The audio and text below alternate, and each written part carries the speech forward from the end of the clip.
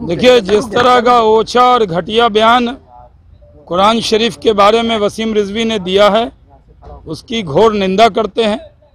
Bharatiya Janata party Quran शरीफ सहित सारे धर्म ग्रंथ का सम्मान करती है। किसी भी धर्म ग्रंथ के बारे में कोई भी टिप्पणी करे, वो स्वीकार नहीं हमारे केंद्रीय नेतृत्व ने एक नहीं, अनेक बार इस बात को कहा है कि किसी की भी धार्मिक भावना को ठेस पहुँचाने का किसी को हक नहीं है। लेकिन वसीम रिजवी ने जिस तरह कुरान शरीफ के लिए और खलीफाओं के लिए ओछी बयानबाजी की है, इसकी मैं घोर निंदा करता हूँ। रिजवी को, मुल्क के माहौल को खराब करने की इजाज़त नहीं दी जा सकती। इस तरह के ओछे बयानबाजी की इजाज़त नहीं दी जा सकती। जिस तरह अदालत में भी जाकर और बाहर भी जो बयानबाजी की है कुरान शरीफ के बारे में, वो पूरी तरह स्वीकार है। हमारे नेता तो नरेंद्र मोदी जी ने कहा था कि भारत के जो मुस्लिम नौजवान हैं, एक हाथ में कुरान और एक हाथ में कंप्यूटर लेकर आगे बढ़ें। हम किसी की भी धार्मिक भावना को ठेस पहुंचाना नहीं चाहते।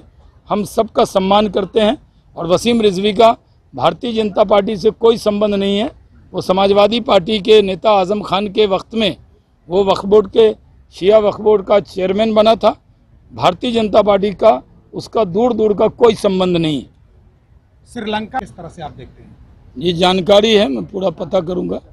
अभी आपने जो जानकारी दी है इसके बारे में हम पता करके बताएँगे। टीएमसी बयानबाजी कर रही है ममता बनर्जी क्योंकि चुनाव आयोग ने बता दिया कि ये जो उनका ड्रामा था, वो एक्सपोज हो गया। वो जो ड्रामा एक्सपोज हुआ है, उसके वजह से वो ध्यान बांटने के लिए प्रधानमंत्री जी के ऊपर ओछी टिप्पणी कर रहे हैं, टीएमसी के नेता और ममता दी उनको ये समझ जाना चाहिए कि बंगाल की जनता ने मन बना लिया है कि टीएमसी की सरकार को भगाकर वो रहेगी और वहाँ भारतीय जनता पार्टी की सरकार बनेगी।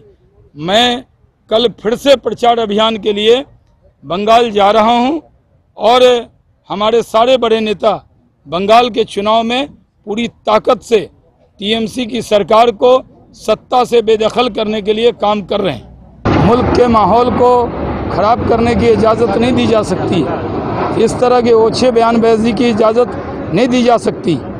जिस तरह अदालत में भी जाकर और बाहर भी जो बयानबाजी की है कुरान शरीफ के बारे में वो पूरी तरह स्वीकार है। हमारे नेता तो नरेंद्र मोदी जी ने कहा था कि भारत के जो मुस्लिम नौजवान हैं, एक हाथ में कुरान और एक हाथ में कंप्यूटर लेकर आगे बढ़ें। हम किसी की भी धार्मिक भावना को ठेस पहुंचाना नहीं चाहते। हम सबका सम्मान करते हैं और वसीम रिजवी का भारतीय जनता पार्टी से कोई संबंध नहीं है। वो समाजवादी पार्टी के नेता आज़म खान के वक्त में वो वक्फ बोर्ड के, शिया वक्फ बोर्ड का चेयरमैन बना था। भारतीय जनता पार्टी का उसका दूर दूर का कोई संबंध नहीं। श्रीलंका में तकरीबन एक हज़ार मदरसों को बंद कर दिया गया है और बुरका पर बैन लगा दिया गया है। इसको किस तरह से आप देखते हैं? ये जानकारी है मैं फैशनेबल दिखना हर किसी का हक है।